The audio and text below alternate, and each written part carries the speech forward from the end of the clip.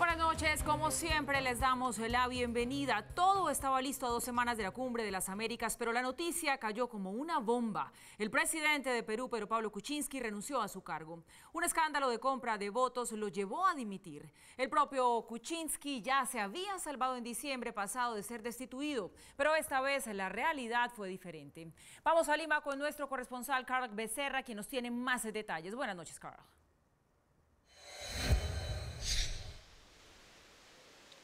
Noches, Paula. Saludos desde Lima, Perú.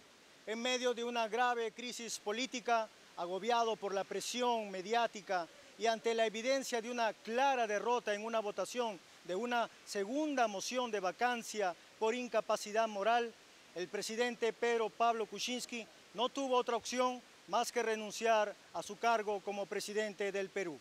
Aquí la información.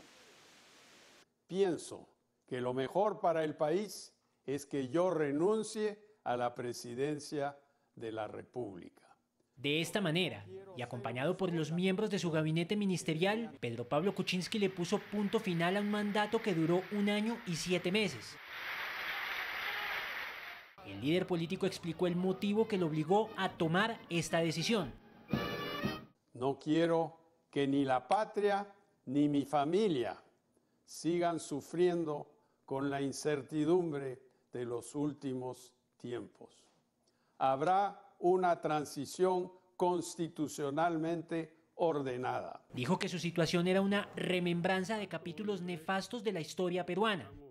Han sucedido hechos que recuerdan épocas tristes que se produjeron en el pasado y es que esperábamos ya estaban superadas en el país. Aseguró ser víctima de una conspiración por parte de sus contradictores. Del incapaz eh, permanente, del corrupto incapaz permanente. Aparecieron grabaciones editadas y selectivamente tendenciosas que daban la impresión de que el gobierno estaba ofreciendo obras a cambio de votos. Finalmente deseó lo mejor para la patria que hasta este 21 de marzo lo vio como su máxima autoridad. Muchas gracias, buenas tardes, que Dios bendiga al Perú. Kuczynski remitió su renuncia al Congreso de la República un día antes de que esa corporación adelantara la votación de un nuevo pedido de vacancia tramitado por las bancadas opositoras.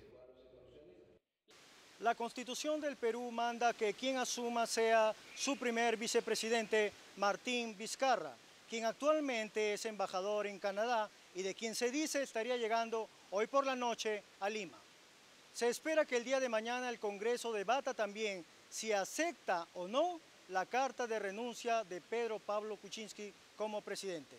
Estamos al tanto del desarrollo de estas noticias y ustedes también tienen más información en estudios.